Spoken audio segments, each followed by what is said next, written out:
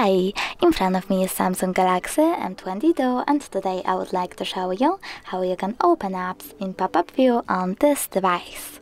Start by selecting any app, like calendar. Now open it, click home button and tap on the square button over here. This one with three lines. After that click on the icon of an app and select open in pop-up view. As you can see now I can use my app in this little window over here and even move it around by holding this blue area over here. You can also click on the other app and use this one, overlay the other one. If you wish to close it though, you can always click on the same button with three lines and simply close your app in the background.